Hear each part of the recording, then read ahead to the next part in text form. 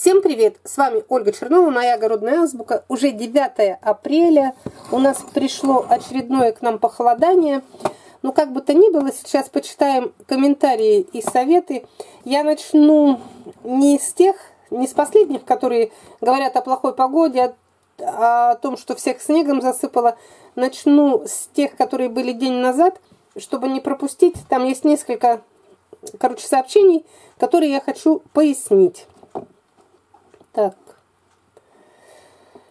Вот интересный комментарий. Тут даже пояснять нечего. Галина Овчарова написала к позапрошлогоднему моему видео, где я написала томат деньмидов, выращенный по принципу посадил и забыл. Я говорила о том, что есть томаты, которые вообще не требуют ухода. Можно просто как посадить, и они сами на земле будут плодоносить. Вот она написала, в 2019 году тоже была такая грядка, не только демидов, 12 кустов разных томатов в один ряд. Остатки рассады жалко было выкинуть. Вот так же валялись на земле в траве. Я их даже полила за сезон раза три. Собрала семь ведер. Собирала по мере созревания. Одна беда. Спелые томаты ели слизни. Приходилось с ними соревноваться, кто быстрее. Это да, слизни могут повредить. А вообще вот в лежачем положении почти все томаты можно выращивать. Я в прошлом году раз, ну, рассказывала об этом. Вот мне не понравилось. Сельские заботы. Я понимаю, что у кого мало зрителей, у кого там мало подписчиков, они заходят на мой канал и стараются, как вот завлекалки эти делать, переманивать на свой канал. Но делайте, пожалуйста, это корректно. Я когда про сетку, про притеняющие говорила, вот сельские заботы написали, не знаю, он или она, Сеткой притенять плохо. Сетка не только не дает нагреть, но и свет будет плохо проходить. Посмотрите меня на канале, как я затеняю теплицу, написано тупицу почему-то. Такой способ дешевый на весь сезон. Это вот такая завлекалка, чтобы люди с моего канала и шли на их канал. Но дело в том, что вы пишете неправду. Вот тут вы пишете зрителям моим недостоверную информацию, пишете, свет плохо будет проходить. Прекрасно через сетку свет проходит, пользуюсь уже много лет. И если вы будете писать вот в таком ключе свои комментарии, я, значит, буду вас удалять и блокировать. Приглашайте на свой канал, я не против. Кто хочет, пусть идет. Но не нужно писать сообщения с недостоверной информацией. Вот пишут, сетка не дает нагреть. Да все она дает нагреть, и свет проходит. Сетка, она разрежена, и как раз получаются не прямые солнечные лучи, а такие, как разреженные. Я уже много раз про эту сетку говорила, у меня очень хорошее от нее впечатление. И тут зависит от степени плотности. Если вам нужно, чтобы свет хорошо проходил, берите более редкую. Если нужно, наоборот, от света предохраняться, от солнечных лучей, берите более плотную. Не нужно вот таких комментариев писать, если вы по-другому притеняете, значит, вы не можете знать, как эта сетка притеняющая работает. Раз у вас другой способ притенять тупицу. Какую тупицу он притеняет? Так. Иногда как напишут, напишут. Так. Вот Юлия Лукина пишет. Подскажите, у меня томаты уже большие, вымахали. Некоторые начинают завязывать цветы. Пересадила в горшки 2 литра. Что еще можно сделать, чтобы они дожили до высадки? Живу в Кемерово, погода примерно как у вас. Высаживать можно будет в начале мая. У некоторых даже пасынки стали появляться. Но это, естественно, они взрослые. У меня тоже, я вот, которые высадили, высадила, они уже все с пасынками. Смотрите, Юль, если вы, вам еще сколько там, три недели до высадки – я не вижу ничего плохого, что зацветет у вас рассада. Мы ведь многие высаживаем в цветущем видео, виде. А тот, кто в парники, вот в, зем, в земле, когда ямки углубления делают, высаживают в парники, почти вся рассада у них цветущая, они потом высаживают в деревнях в цветущем виде. Самое главное, что у вас есть преимущество, у вас она в отдельных горшках, и вы будете высаживать без повреждения корневой системы тогда, скорее всего, и цветки эти растения не сбросят, завяжутся плоды, и все будет нормально. Это будут ваши первые плоды. У меня очень часто зацветает рассада, и все вот эти цветы, которые цветущие я высаживаю, они все потом превращаются в томаты. Тут самое главное сделать бережную пересадку, чтобы не было какого-то вот этого стресса при пересадке у растений. Тогда все цветы сохранятся на материнском кусте, оно не сбросит его. Вот тут про эти, про греющие ленты, сейчас я немножко поясню. Греющий кабель не греет, позвонила тому, кто высылал его. Я вот и хотела сказать, что вы где покупали, вы обязательно консультируетесь. Если у вас что-то идет не так, вот где они покупали, она, к сожалению, не сказала. Сейчас фирм очень много. И тут еще есть такой нюанс. Я сначала думала, что тоже он не греет. Я его закопала. Ну, как мне закопала, муж закопал. Мы нынче включили.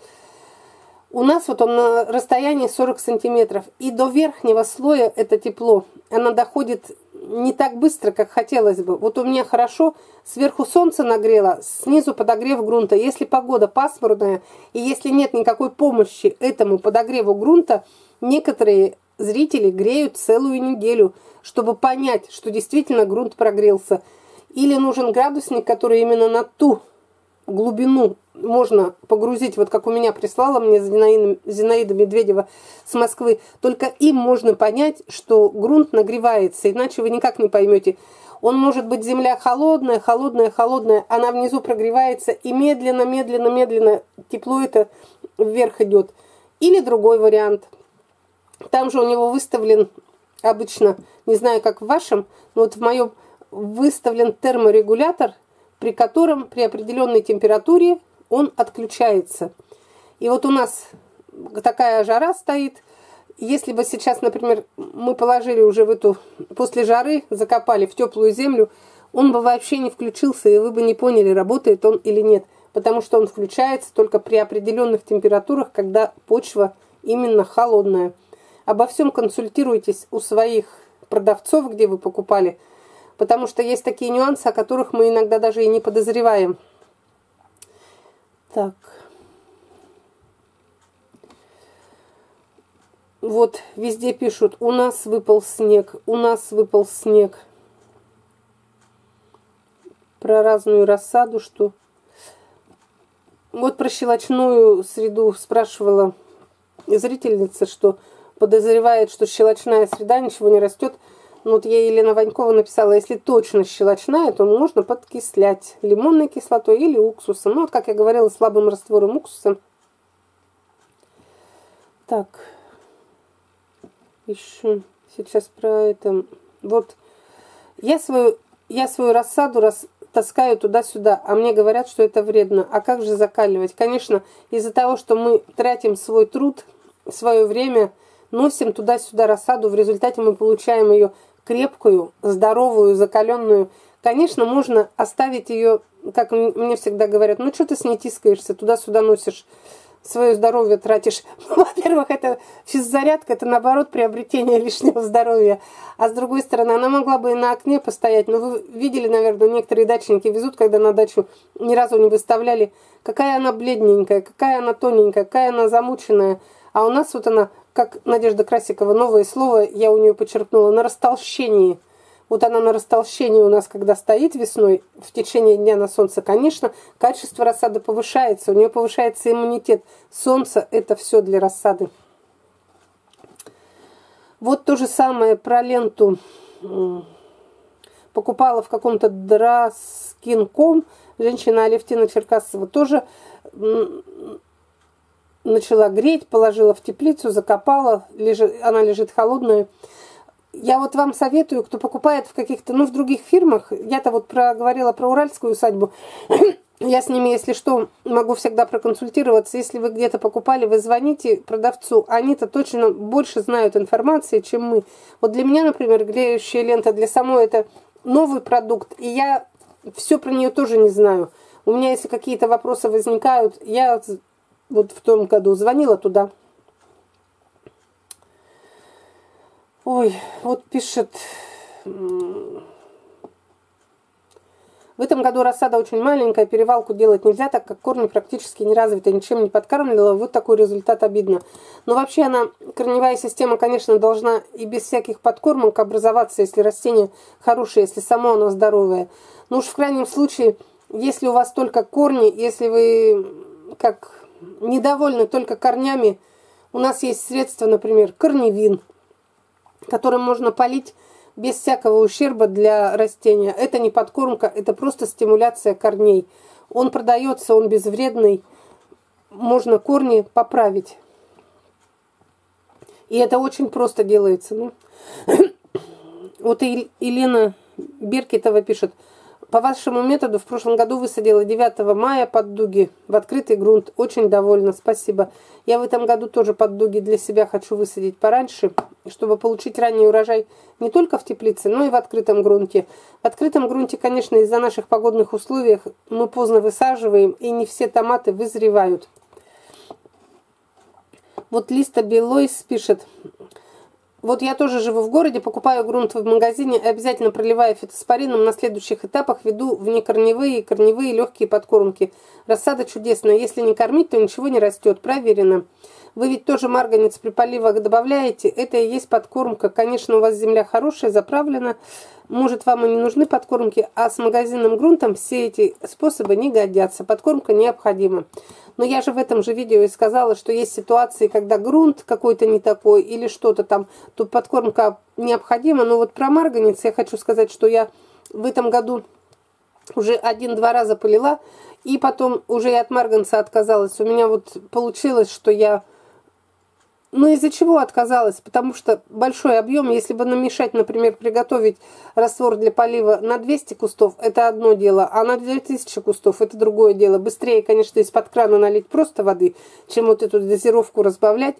И выросли без марганцовки. Но я-то ее, вы вот назвали ее подкормкой, да, марганец, он, конечно, важен, но я-то ее использовала чисто в дезинфицирующих целях вот в этом году без дезинфекции обошлись. Так все выросло. но нет и нет, значит, не полили нынче марганцев. Вот начинается про морозы. Приходим к более свежим. Сейчас пойдут там комментарии про штормы, про морозы. И хочу... Вот Светлана Бабкина пишет. Подскажите, у меня засыхает макушка у рассады помидор, корни живые. Свет, я даже не знаю, у меня, если честно, такого ни разу не было. Обычно маку, макушка всегда, она у рассады, она самая такая зеленая, самая яркая, самая жирная, самая здоровая. Я вам советую, я вот и всем говорила, я небольшой советчик по заболеваниям, потому что у меня заболеваний томатов почти никогда нет. Я стараюсь делать вот эту всю профилактику, делать такие условия, чтобы они не болели, все, и грунт хороший, условия стараюсь им. И у меня практически нет заболеваний, но есть такие таблицы, вы наберите в интернете заболевания томатов, таблица, там все и фотографии листиков, и фотографии вот этих вот недостатков, скрученность, например, фиолетовый лист, желтый лист. И многие огородники пользуются этими таблицами.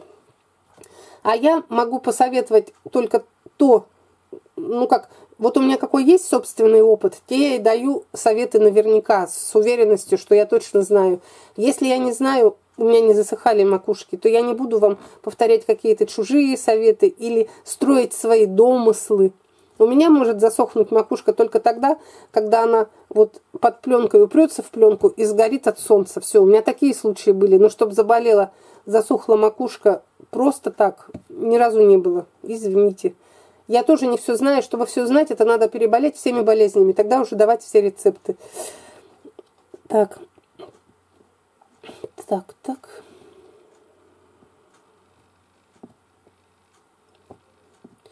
А вот Светлана Криворучка написала, недавно посмотрела сад, огород своими руками, про высадку томатов устроим, соревнования Сибирь-Украина, у кого быстрее поспеют. Но я тут не ввязалась бы с Украиной в соревнования, знаете почему? У них сейчас наступит теплая погода, а у нас апрель и май еще – будет падать снег, у нас будут заморозки. У нас в июне иногда, я говорила, вот было минус 7, у них таких температур нет. Их не будут висеть спеть, а мы будем бороться за жизнь, морозы как-то, чтобы преодолеть. И, конечно, вот в такие периоды похолодания она томаты все равно, они замедляются в, разви в развитии и в росте. Так что нам Украина, как говорят, она нам не конкурентка, а нам она, наоборот, конкурентка. Мы, наверное, за ней не угонимся. Это я реально просто смотрю на вещи, на такие, что климат совершенно разный.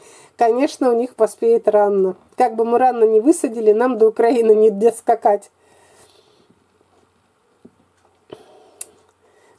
Вот про этот все метод Мунира Татьяна Щелкина пишет, провела в этом году, пробовала в этом году укладывать по методу Мунира, оставляя одни макушки. Из десяти выжил только один, и то полудохлый. Но я смотрела тоже, мне вот ссылку дали, вот посмотрите, что вы скажете. Мне, конечно, кажется этот метод очень жесточайшим. Во-первых, я как-то вот отношусь к ним, мне все равно жалко все листья до гола убирать. Может быть, это и тормозит, конечно, развивает корневую систему, может, тормозит от вытягивания, от всего-то, предохраняет от вытягивания. Но вот видите, а у Татьяны Щелкиной предохранила вообще от дальнейшей жизни так, такое общипывание листьев. Я считаю, что листья важны. Я могу там нижние один, два, ну, по мере роста томатов удалять, но чтобы заголить его весь, у меня, наверное, это трясущиеся руки не сделают такой процедуры, сами вот так вот сожмутся в кулачки. Нет, скажут, не хотим щипать томаты. Вот Зинаида Медведева очень точно подметила, что, конечно, автоматические форточки облегчают труд. Можно без опаски хотя бы на короткое время покидать дом, а с обычными форточками в магазин страшно отойти. У меня было в моей жизни за всю мою практику несколько походов в магазин, которые чуть не, обо не обошлись, не закончились трагедией. Когда выходишь утром прохладно, холодно, ничего не открываешь. Пока уедешь в магазин, у нас же, как не в каждый магазин в шаговой доступности, например, садовые очень далеко. Пока уедешь туда, пока приедешь обратно, солнце выглянет, и бежишь уже весь сам, это, весь взмокнешь, вспотеешь, скорее открыть. Открываю форточку или дверь, оттуда как огнедышащий дракон. Все, они уже завяли, они уже буквально хватает одного часа, чтобы при яркой солнечной погоде вот эти сварились там томаты. Это очень страшное дело. Я говорю, что жара вот эта в теплицах, она может такой же урон принести, как и холод. Так. Ну, тут пишут, везде обещали минус 8, а было минус 12. Я тоже таких больших показателей минусовых боюсь. Ветер вот Владимир Мишенин пишет, у нас минус 10 ночью, минус 6 днем и ветер. Томатам, по-моему, очень страшно. Без подогрева никак. А про автоматику проветривания при сильном ветре будьте внимательны. Ее просто вет... может просто ветер их сломать. Вот где-то не было электричества всю ночь. Мне вчера посоветовали, вы, может быть, от... включите пока подогрев грунта, пока есть еще свет, а то, может быть, начнется вот это вот все ураганное, оно же к нам сейчас придет, будет и похолодание, и ураган отключит свет, и ничем не подогреешь томаты. Я вчера побежала, включила подогрев грунта, потому что тут уже не до экономии. Пусть я лучше эти 100 рублей лишние отдам, но если даже свет отключит, у меня хотя бы земля в теплице будет теплая, а сверху они пленками закрыты. Вот тоже пишут, сутки ураганный ветер, крыши на, этаж, на этажках посносила, топила буржуйку всю ночь. В теплице я поняла как. Тимон Баев пишет, мы в Курганской области пережили холод до минус 8, минус, минус 12. Еще одна ночь осталась холодная, а там ждем плюс 15. У нас тоже вот эта будущая ночь будет самая холодная. Так. Татьяна пишет, у нас в Заурале была настоящая буря, все занесло снегом. Ветер такой был, что ворота сносило и сосны валило. Зимой столько снега не было. Я замечаю, что с каждым годом все хуже и хуже погода. Если раньше были только заморозки весенние, то сейчас видите, что может прийти. Может настоящая быть буран еще с ураганом. Вот тоже Татьяна Большакова пишет – у нас сегодня ветер ураганный со снегом, тоже что творится на улице. И вот в таких случаях я же... Раньше мы только все на улице вот с такими с прикрытиями, ну как дуги, прикрытия. Сейчас я поняла, что теплица все-таки это хоть немного какая-то для нас защита. У меня вот эти же дуги с укрытиями в теплице стоят, но там можно не закреплять вот эти, знаете, мы делаем перетяжки, полторашки с водой, кирпичи какие-то прижимаем вот эти пленки, потому что у нас сколько раз эти пленки уносило, и все это как разрушал вот этот ветер. Сейчас я захожу в теплицу, они под пленочками, пленки, конечно, ничем не закреплены, просто накинуты. Красота, у них в тоннелях 10 градусов, это, ну как, вот ночью при двух градусах за бортом, И подогрев ночью не работал, потому что ночью я грела придомовую теплицу. Две теплицы одновременно греть по техническим возможностям не могу. И вот там хорошо, тихо, даже если ветер будет, он будет, конечно, колыхать, будет страшно, но хотя бы эти пленки не сорвет, и они там как в домике. Вот тоже Алена Дроботова пишет с Омска. Ночью было страшно, думала, крышу с дома сорвет. Плюс вчерашнего вечера остались без электричества. Очень переживала, что рассада, что уже зашла в теплице, замерзнет без подогрева, но все обошлось. Тепла хватило под укрывным материалом и пленкой. Вот я еще раз говорю, что если такие экстренные ситуации, укрывной материал и пленка, и если уже даже нет электричества, подогреть нечем – ну, можно поставить свечки. Я вот, если у меня так случится, что к нам сейчас придет, например, снегопады, метели, ураганный ветер, отключат электричество, и мне нечем будет вот их при... Конечно, я из придомовой теплицы занесу домой лотки. У меня там немного, я уже все почти перетащила домой. А в те тоннельчики в теплице поставлю по две свечки в каждый торец. На ночь им вполне хватит. По крайней мере 8-10 градусов они будут держать. Вот Петр Цихлер тоже пишет, ветер страшный, срывало крыши. Я вот вчера сняла видео, подробное, как вот предохранить от холода, чтобы не переусердствовать, чтобы они потом не сгорели от жары. Но вот сегодня, наверное, нужно снять видео, да, на тот случай, что делать, если все-таки отключится электричество. Вот про свечки, вот про, про простые свечки, многие начинающие огородники, они даже не задумываются. Я сама услышала об этом только несколько лет из интернета, и если честно, что в первые годы, когда я занималась огородом, свечки же были всегда – мне даже в голову не приходило поставить туда, вот в эту тоннель, свечку. А в прошлом году, кто видел мое видео, когда снегом завалило, когда было минус, вот большой минус, много дней стоял, нас спасли только свечки. Свечки или вот эти вот делают жировики-то масляные, вот эти обогреватели, тоже самодельные. Вот вопрос Наталья Чернявская спрашивает, можно по одному корню в лунку, но почаще? Нет, почаще нельзя по два корня в одну лунку, оно тем и, тем и выигрываем, что они вместе, компактно, а между ними перерыв, вот это пространство между лунками, которое позволяет и проветриваться томатом, и свет проходит на другие ряды. А если вы почаще по одному поставите, у вас будет сплошной чистокол. Вы этим рядом полностью тень бросит этот ряд на следующий ряд – и, во-первых, и у вас будет без проветривания, почаще нельзя. Расстояние между томатами все-таки должно быть. Вот тоже ночью минус 7. Такие тоже тревожные сообщения идут. Короче, похолодание у всех. Вот Челябинская область, Нина Камышина. Минус 10. Ветер ледяной. Ой, я жду сегодня холодную ночь. Сейчас вот пойду покажу, какая температура. Это видео, когда выйдет вечером, вы уже утренний обзор посмотрите. У нас сегодня будет самая холодная ночь. Буду еще раз утеплять. Буду сейчас рассказывать, как спасать томаты в то время, когда очень холодно. И потом приду, отвечу еще на несколько вопросов. Вот сейчас хочу сказать еще про огурец, вот это свежие комментарии. И сейчас только пришел, Лиза Вернер написала, сколько же вы говорить лишнего, уши болят. Но я, конечно, ну какой тут совет дать? Тут единственный совет дать, Лиза, сходите к врачу. У нас есть такой специальный доктор ухо, горло, нос. Если уж он вам не поможет, ну тогда надо вам выбирать канал другой, где много лишнего не говорят и где говорят все по существу.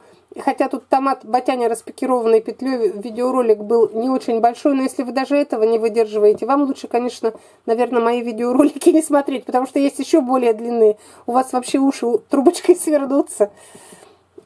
Так, это про цветочек. Вот, я хотела рассказать про томат. Новый подписчик пишет, Елена Прохорова пишет, скажите, почему нельзя сеять сразу в большой стаканчик? Спасибо. Это про огурец. В большой стаканчик сеять можно. Но рекомендуется сеять в маленький, потому что маленькая семечка, маленький сеянец, маленький росток, маленькая корневая система, ему лучше бы сначала пожить в маленьком объеме грунта. Смотрите, когда в большом объеме грунта он живет, вы поливаете воду, смачиваете весь этот полкилограммовый ком земляной. Корешок не освоить этот грунт не может, не употребить эту воду не может, и он постоянно долго стоит в этой в мокром грунте. Корневой системе это плохо. Там постоянно мокрый вот этот влажный грунт, нет доступа кислорода, она развивается, корневая система не так, как нужно. Вообще все специалисты рекомендуют сначала маленький стаканчик, когда увидите, что корней уже много, лучше перевалить в большой. Но в большой можно и сразу, многие так делают. Но я стараюсь делать по тому сценарию, который более благоприятен для растения. Вот начала записывать выпуск 9 апреля, сегодня уже 10, я даже не нашла вчера время в загрузку его забросить. Сейчас несколько комментариев прочитаем. Вот тут еще у нас нашествие мышей. Мне так интересно, люди пишут, чего только мыши не съедают. Я вот сегодня как раз своим приманку мышам положила в теплицу и напоминаю всем, что будьте начеку. У мышей, вероятно, тоже весенний авитаминоз. Съедают все, что появляется, зелень, какая у нас в теплице. Ну, вот сейчас дальше прочитаю. Интересно, что только не съели мыши у людей.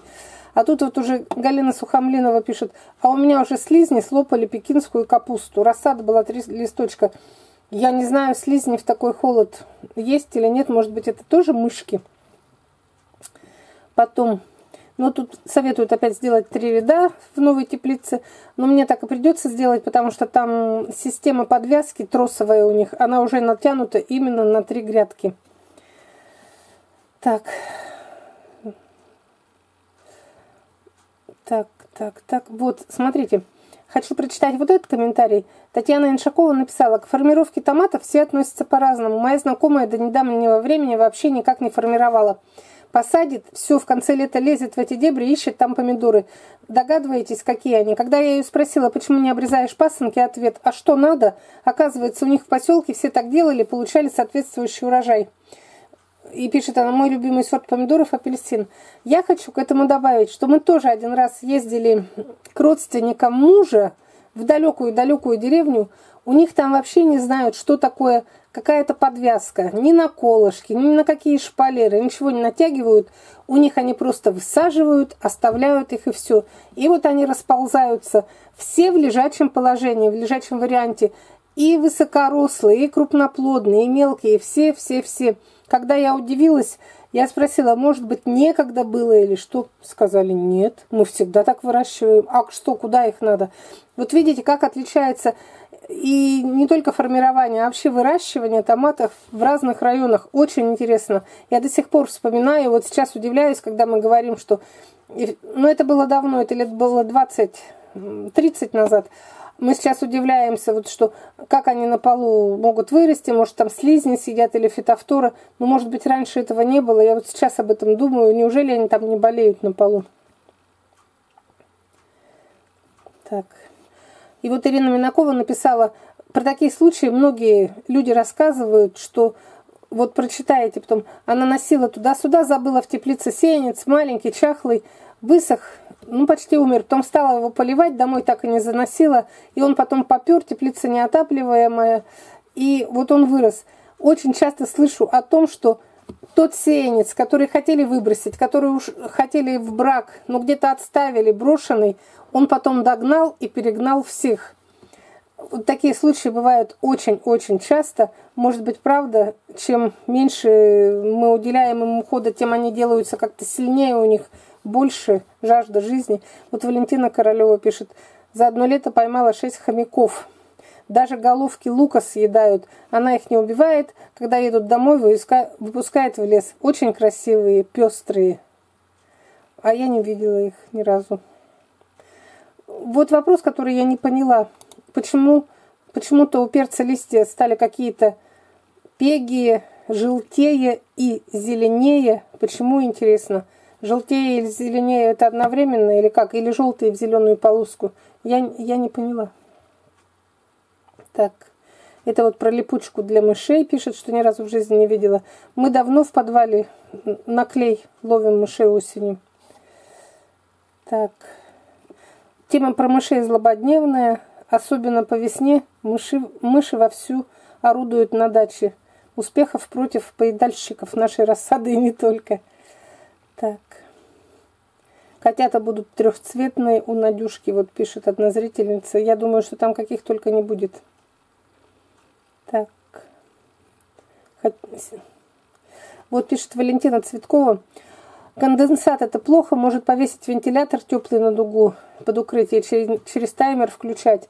Но сегодня у нас солнце выглянуло, сразу все высохло, никакого конденсата. Я вот уже снимала, не знаешь, под что подстраиваться. Утром боялась, что замерзнут, днем боялась, что с жары, короче, погибнут. До того стало жарко в теплице.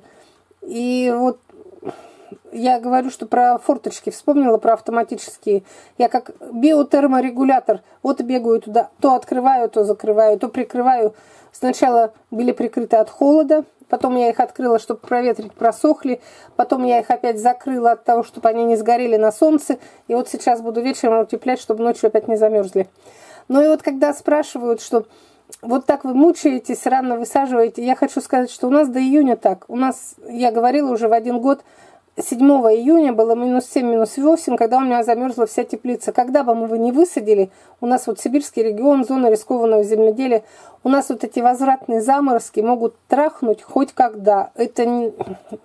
То, что высадишь, например, в мае, это еще не гарантия, что они у тебя без забот, без хлопот вырастут. Не получается без забот, без хлопот. Так. Вот пишет Тамара Иванова, сколько трудов положено. У нас в Нижегородской области всегда высаживали в теплицу в начале мая, и не было проблем. Просто сменился климат. Но то, что если я высажу в начале мая, я не, я говорю, что у меня нет гарантии, что нет проблем. В прошлом году, кто смотрел видео, видели в мае, какие у нас были бураны, прям сугробы намело. Так что даже высадив в мае, мы не освобождаем себя вот от этой волокиты всякой. Так, а вот последний раз про мышку сейчас прочитаю все. Смотрите. Натан, Ната Ивуш пишет. У меня сегодня мышь съела золотые яйца, суперклушу, земляк, ранний 83. Едят только пластилиновые вот эти приманки, а клеевые зерна и гранулы лежат нетронутые. Они, короче, гурманы. У вас едят только вот эти вот, как они называются-то, тестовые, да, сырно-тестовые и любят золотые яйца. Не дураки. Но вот как раз мышка же должна побежать, и золотое яйцо должна разбить земляка и раннего семестра. Когда я прочитала, я сначала не поняла. Было так интересно такое сочетание. Мышь съела золотые яйца. Так, и про кота еще прочитаю. Пишет, Ирина Губко. Поразительно, рыжие коты, наверное, все дручины. Сколько у меня было котов разной масти, рыжие просто атомная бомба. У нас весь опять исцарапанный ходит, весь грязный, утисканный. Но тут же пишут, не, у меня рыжий вообще аморфный. Ему мышь на голову сядет, он не сгонит. Желаю вам кошечек, конечно, активных, чтобы мышек она гоняла. И вообще, сегодня такая погода. Мы сегодня ждем последнюю морозную ночь. В понедельник буду высаживать томаты в теплицу, где грунт не отапливается, только инфракрасный обогреватель. Вот когда была хорошая погода, смерила я там температуру грунта 10 градусов. Так что уже без подогрева, за счет вот теплой погоды, земля прогрелась. И именно на ту глубину, на какую надо, при 10 градусах я средние начну высаживать. Буду инфракрасные, может быть, включать на ночь. Потом буду по краям. Короче, работа продолжается. Мне сегодня позвонили с Уральской усадьбы. Сказали, что теплица моя новая готова. На следующей неделе ее в отправку уже будут оформлять. Так что скоро буду вам хвалиться своей новой теплицей с автоматическими форточками, с тросовой подвязкой, с какой-то, не знаю, что это за тросовая система подвязки. Хотят меня все перевести с колеев на веревки. Ну все, посмотрим, как я буду поддаваться обучению или нет выращивания на веревках. Я приросла к колеям, не хочу никакие веревки, хочу кол. Всю жизнь буду на коле на этом. Все, до свидания.